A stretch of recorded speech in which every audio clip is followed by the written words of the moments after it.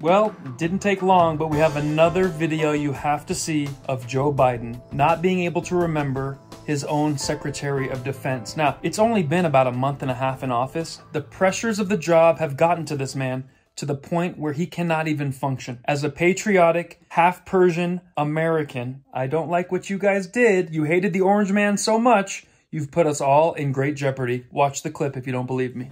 Just want to thank you both, and I want to thank the, the the uh, former general, I keep calling him general, but my, my, uh, the guy who runs that outfit over there.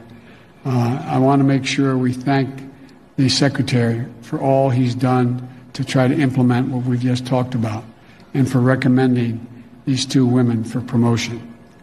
Thank you all. May God bless you all and may God protect our troops.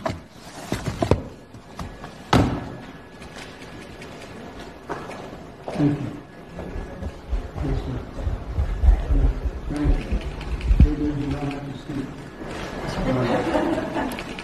So here's what I love about this. We all saw with our own two eyes. He could not remember his own staff member. Then you go on Snopes. Snopes is here to tell us the truth. We have to look at Snopes. Snopes' title of this article. Did Biden forget Defense Secretary Austin's name, his former general? And then their answer, which we all just saw, we can use our own eyes and ears, mixture. Mixture? Let me read the Snopes article while you read along so we can all be on the same page together. A video shows Biden fumbling words and apparently blanking on his defense secretary Lloyd Austin's name at one point in the speech. Although he had mentioned Austin's name a few minutes earlier without issue. That makes it even worse. What's undetermined?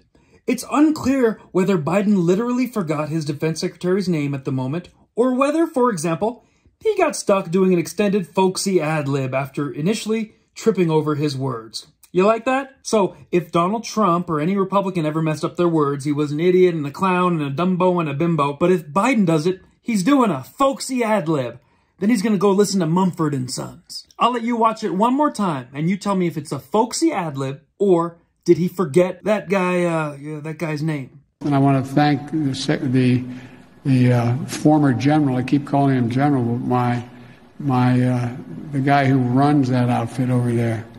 Uh, I want to make sure we thank the Secretary for all he's done to try to implement what we've just talked about and for recommending these two women. Hey, I hope you enjoy all my videos. I actually do stand-up comedy, if you can believe it. But for the last few months, I've had to watch Joe Biden because the journalists are not doing their job. And I'm getting a couple hundred thousand people to watch every single video. So we're going to keep it going because skeptical, patriotic half Persians have to fill in when Anderson Pooper Scooper and Don Grab His Lemons and Rachel Mad Cow Disease will not do their job. So thank you for watching me. Be sure to smash that subscribe button. If you want to keep videos like this coming and keep America awake with the art of comedy, there's a few ways you can help. Patreon, locals.com, gofundme.com slash Comedy, and of course Venmo, K-von dash K-V-O-N. The guy's so nice, they named me twice. And just for a little extra help for Snopes, here is the last time Joe Biden went out and about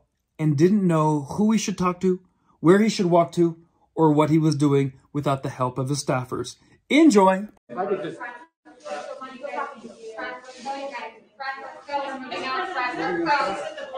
go, you guys. Come on, Fred. We're gonna move out. Let's go, Fred. You guys, let's go. Come on, Fred. Let's go. Come on, let's go. This is the order, sir.